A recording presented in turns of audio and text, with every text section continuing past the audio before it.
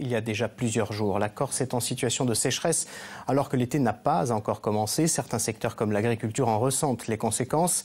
En raison de cette situation et d'un vent violent, euh, l'usage du feu est interdit en Haute-Corse et les pompiers sont mobilisés alors que le préfet de Corse a réuni l'ensemble des services concernés pour prendre des mesures de restriction d'eau. Reportage Pierre Nicolas avec Caroline Ferrer, Vivien Charrer et Stéphane Agostini.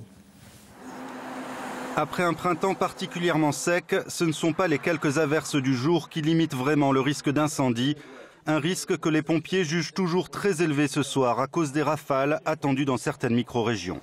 Malgré les, pluies qu'on a pu rencontrer sur euh, certaines portions du département, il convient de rester vigilant car effectivement le vent, notamment sur la partie Balagne et Cap Corse et le sud de la plaine orientale, euh, est rentré et il va aller en se renforçant euh, en fin de journée, dans la nuit, pour faiblir progressivement et euh, disparaître, on dira, en début d'après-midi de mercredi. En raison des forts vents, l'écobuage est interdit en Haute-Corse jusqu'à jeudi. Il devrait ensuite théoriquement être de nouveau autorisé le matin seulement jusqu'au 30 juin. Autre conséquence de la sécheresse, les maraîchers de l'île ont connu des récoltes précoces et importantes, ce qui a eu pour effet de faire chuter les prix de leurs fruits et légumes.